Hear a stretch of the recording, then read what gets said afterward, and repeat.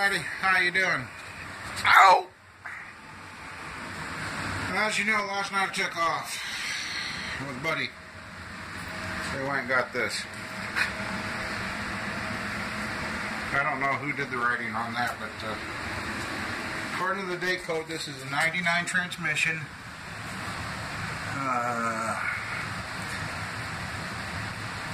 I can't remember it all, but Buddy was a little concerned about this oil up here, but uh, the motor that this came off of had a problem. Unless the training is supposed to be rebuilt. You, uh, you and I are looking at it at the same time. Let's see what. Hmm. Okay, yeah. So the converter is not a factory.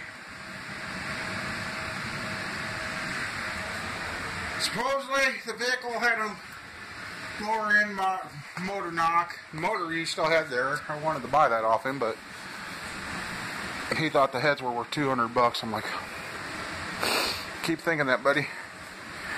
Anyway, we got more wires that we don't need.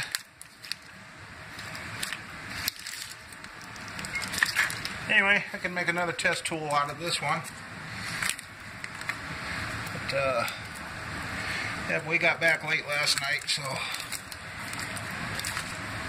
That was oxygen sensor. So, yeah, the guy just cut her out and saved it. And the price was right, so I went after it. But, uh, now my problem is, uh, I'm not moving too good.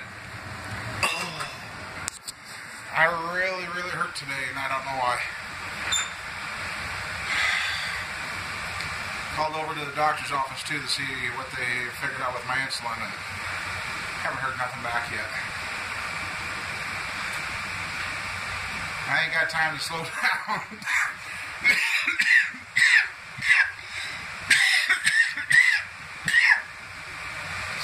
but kind of had thought about putting that uh, trans in the black truck. I don't know. It'd be nice to have a pickup going again. And maybe sell the black truck and then take the money from that and rebuild the tranny there that was in the Tahoe. Rebuild it and put it back in. I don't know. Anyway, uh, just a little update. 5-3 is going to start going together today. So, see y'all later in the main video.